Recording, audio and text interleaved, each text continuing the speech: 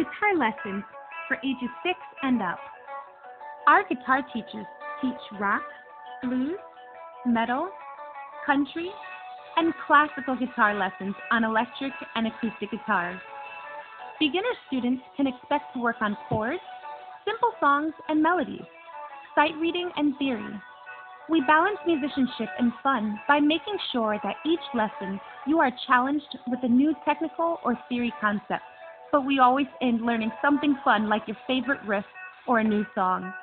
We use a variety of guitar method books to accomplish this and encourage students to bring CDs or their iPod to lessons to learn their favorite tunes.